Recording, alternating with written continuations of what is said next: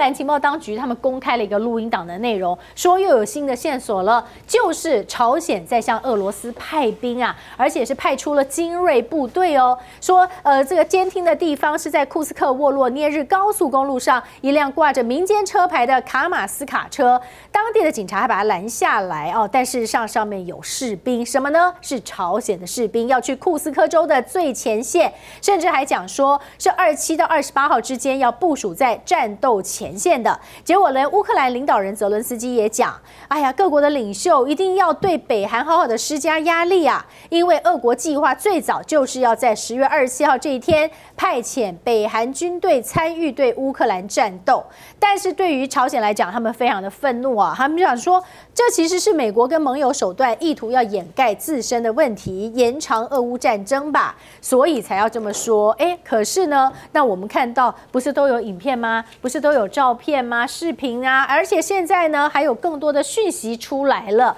说还有录音档。这个韩冰啊，到底是怎么回事？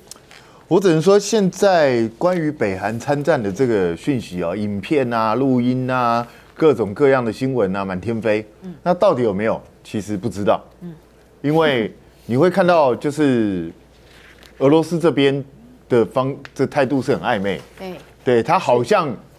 否认了，可是又好像没否认。是。然后北韩这边呢，也是讲的很不着边际，到底到底有没有去也不知道。嗯。那所以，我我觉得最简单的方式就是乌克兰，你要证明这个很简单嘛，因为乌克兰最近已经宣传到一个什么地步？他说他们现在前线军人已经在练北韩话，嗯，就准备俘虏他们的时候就跟他们讲，哦，对啊，这当然这是一种宣传啊，我也语言不通很麻烦，对啊，我就觉得这这种宣传有点过头，但没关系嘛，你们既然这么喜欢宣传，那很简单，你都指控他已经上了战场，那你就在战场上抓个两个回来看看嘛。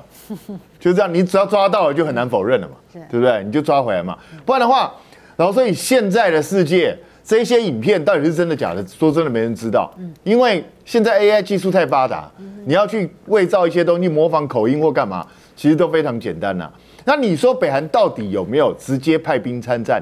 我个人其实是一直觉得。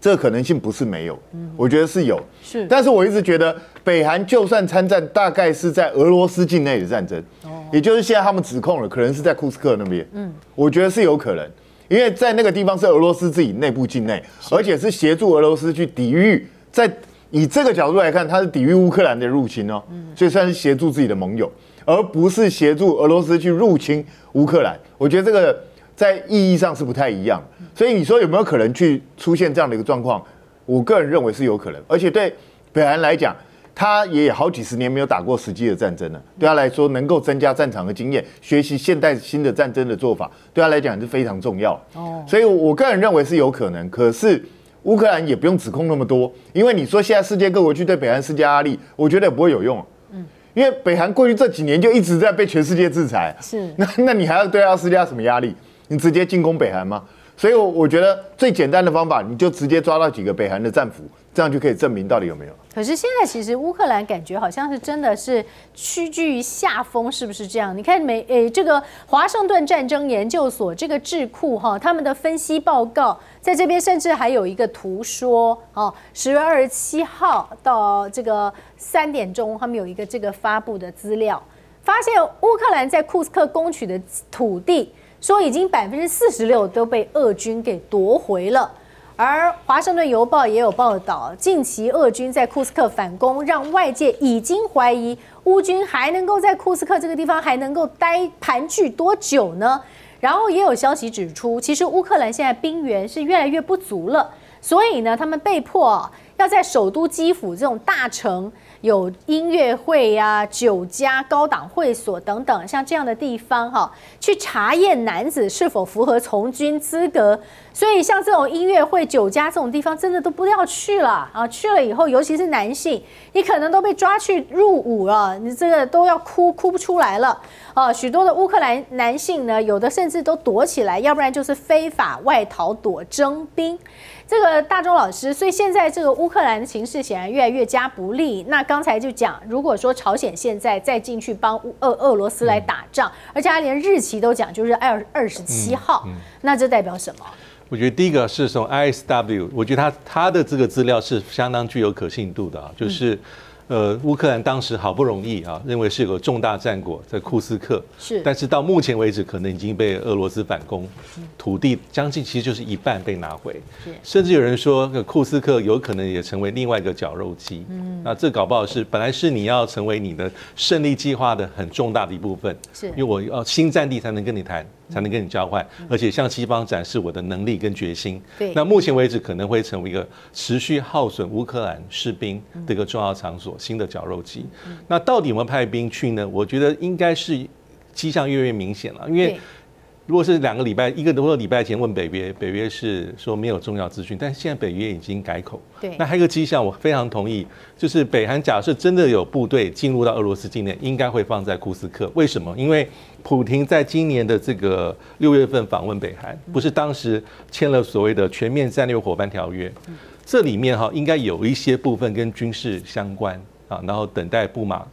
俄罗斯国会这个这个杜马批准，那这里面哈，其实现在来看的话，应该就是普廷正面的这个要求，嗯，呃，北韩提供兵力，而且这是对北韩来说，所以北韩特别讲，俄罗斯也讲，这符合国际法、国际规范。因为假设是一个这种共同防御条约的话，那你你的领土被攻击，我提供部队，因为等同是我在承受，这样子派遣跟部署跟动用，我觉得是。比较合理的，比较，所以我我会认为说，现在已经有部分部队进入到俄罗斯境内，而且应该是准备投入库斯克。在之前传出轰二十的时候，我就说不可能是轰二十，为什么？因为轰二十如果说在这个珠海航展横空出世啊，其实哎违反所有的定律。为什么？因为从歼二十啊以来啊，我们一直看到嗯。解放军无论是各个呃各各种的战机啊，它的出现是有一个规律的。第一个是爬墙党先拍照，接下来呢是试飞的时候会被照相，最后呢才是出现在央视军事，然后嗯首飞的时候，那个对不起不是央视军事，它会公公布，然后上号，然后确认这一型战机啊已经嗯。已经加入战斗序列，以往都是如此啊。现在谁看到红二十？没有，我们只看到很多想象红二十啊，连招飞这一些嗯年轻一代的飞行员都有一个红二十的一个概念啊。那但是我们这样讲啊，也就是这一次的航展啊，我们以现在所看到的嗯相关资讯来讲，相对于以往它的规模，嗯。变得非常大，而且它还切个非常多的一个展区啊。那它有专门嗯看这个无人无人机还有无人船的一个展区，那它是最先开放的。接下来还有金凤可以看那个嗯空中表演的，接下来才是真正的航展大厅啊。那我们来看这一些啊，其实大家到时候看到小县长，我们可以一起合照啊，没问题的。那。我也很很兴奋啊！可这一次前往看这个珠海航展啊，那看看整个那个中国大陆的各项军事的起飞啊，不是只有限于这个空空军或者是陆军，其实海军的装备它可以用模型，或者是展展现部分的，对，它有部分的结构可以展现啊。那这个也就是说，这一些。真正就是造成了美国非常大的一个心理压力啊，所以想尽各种奇怪的方法啊。那至于说啊，我们刚刚前面稍微提到了有关于库斯克的状况，其实这一个库斯克啊，库斯克当初啊，这一个他出刚开始出现的时候，我们节目里头小舰长是怎么讲？空城计，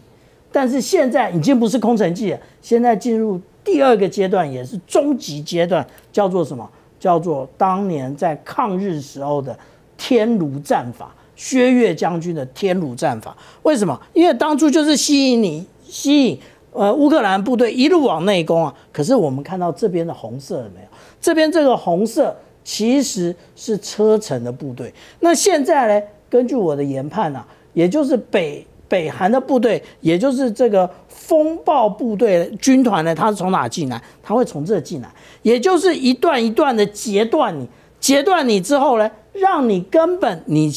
深入了这么多啊，你未来有没有办法撤出都是个问题。然后现在基本上战场上都是用围歼，那不太搞什么交换这个交换战俘了，因为再继续交交换战俘啊，这个仗就打不完。今天最后呢，还是要由秦教官再一次的跟大家推荐这个非常好用的产品，我自己也很喜欢，它就是 KS 皇家呵护抗光清爽高防晒系数的凝露，哈，非常的清爽，而且呢，这抗紫外线非常的有用，欢迎大家能够多多的利用我们的中天快点购平台来选购哦，并且还可以打 CTI 七九八 CTI 七九八，我的推荐代码可以享有额外的折扣。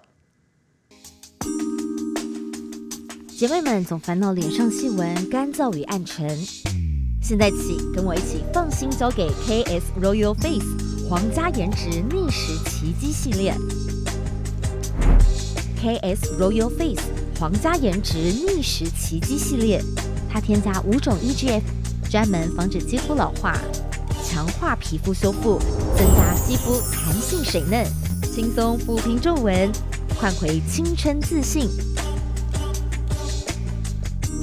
S Royal Face 皇家颜值逆时奇迹，护肤露、全效精华、精华霜，